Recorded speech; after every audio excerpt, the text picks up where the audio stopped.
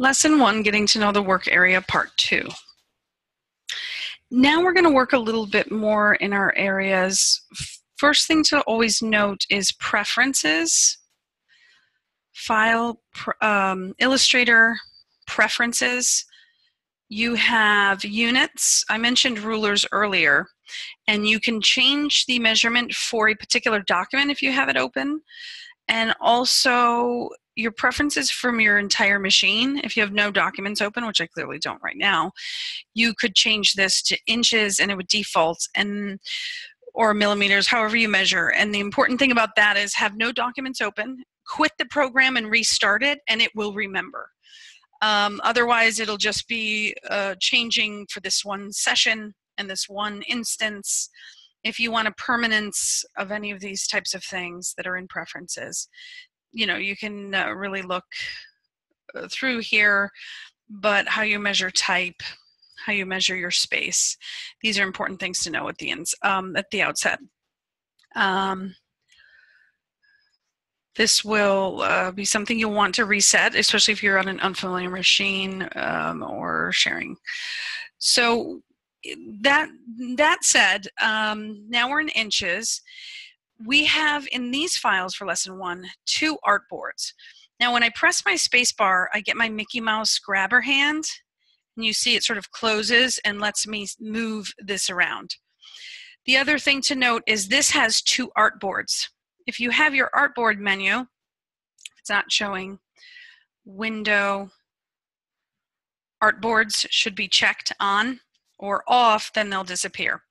Window is a good thing that I always point students to because if you can't find something, whether you've reset your workspace, whatnot, always go to your window for to find the things you need to see.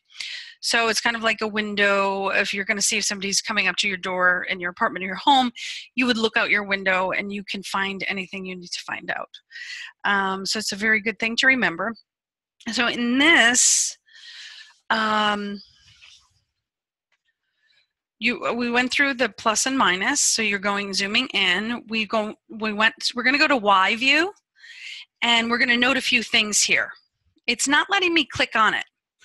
I'm selecting all i'm using my direct selection i'm using my uh, hollow arrow too so now i've deduced that the objects on the page are locked.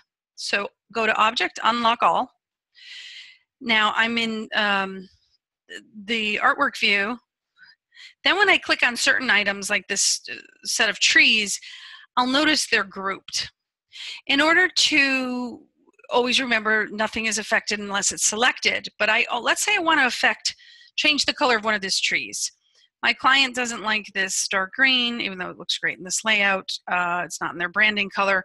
So in order to select that, I would need to ungroup and then I could go in my direct selection and I could change that to a more, uh, oops, that's my stroke. Don't make that error. I was showing you something about stroke last time and it remembers what you did last.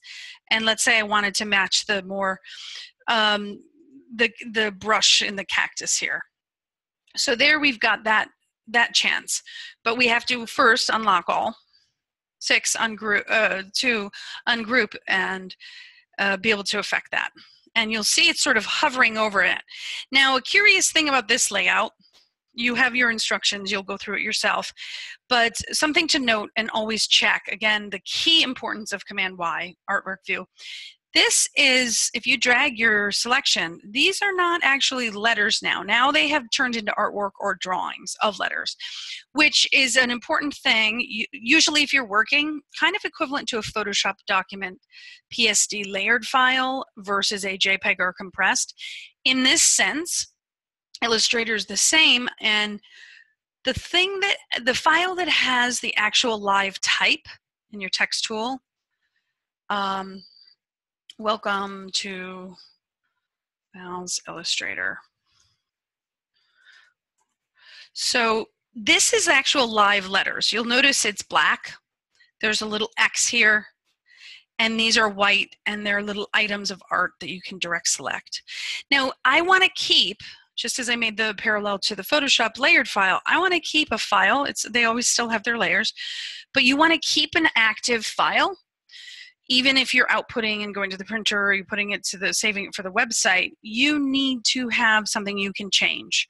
So note, once you get rid of your active text, always keep a file. You could keep this as the AI and then save out your flattened file or your outlined file as an EPS it's key that you can always change something in case there was a spelling error or something changes over time. Don't don't back yourself into a corner by making your copy into outlines. So in order to get this like this you would select that. You go to type create outlines. So now it's art but you need to save a file that you can edit an editable file. Um, it's a very important thing and um, scrolling through, you can go like this. You can go to your menu, go to your artboards. We've gone over changing the view, the navigation panel. Um, anytime you're looking for something just as I was showing you, like for example with the ellipsis tool, and there was this little caret or arrow, anytime there's a caret, that means there's more. So comparably over here on your panels tabs, there's a little hamburger menu with an arrow. Also just means more. So a lot of times you can find something in multiple locations, which sounds confusing, but just everybody works in a certain way. Um, here you could go in and find something in the menu instead of having to scrub through all of these menus where everything is. If you're looking for something related to character, you can then look in this menu there. So that's another thing. So there's more tools hiding behind the default set. And of course, up here is your, your panel attributes where they repeat some of the things that are over in these panels, but they're just spread out up here for more visual uh, workers. There's different temperaments of uh, how people, um, their workflow and their learning styles. So there's different ways to approach it, which is the beauty of Adobe software and its uh, strength and power. So go through your exercises, explore on your own if you have the time at the end.